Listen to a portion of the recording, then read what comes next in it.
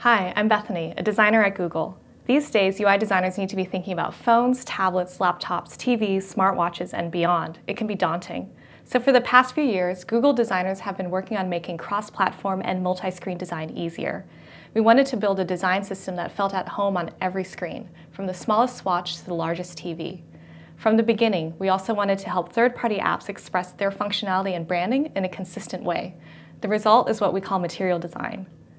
The material aesthetic tackles the timely subjects of realism and minimalism, distilling and blending the best of both.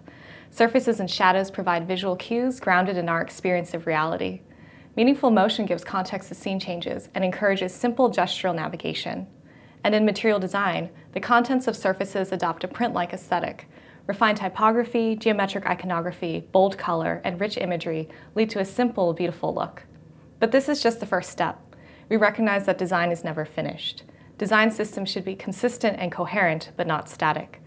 We look forward to seeing how designers around the world evolve material design with us.